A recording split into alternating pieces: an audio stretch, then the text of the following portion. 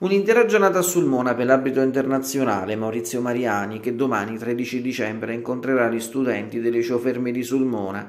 A mezzogiorno nella lavagna della scuola sulmonese Fischietto di Aprilia parteciperà all'evento Scegliere di essere arbitro. Oltre a Mariani interverranno il presidente della sezione AIA Giulio Di Bartolomeo, la dirigente scolastica Luigina D'Amico, il sindaco Gianfranco Di Piero. Maurizio Mariani in serata alle 18.30 terrà una riunione tecnica nella locale sezione arbitri in via Carrese.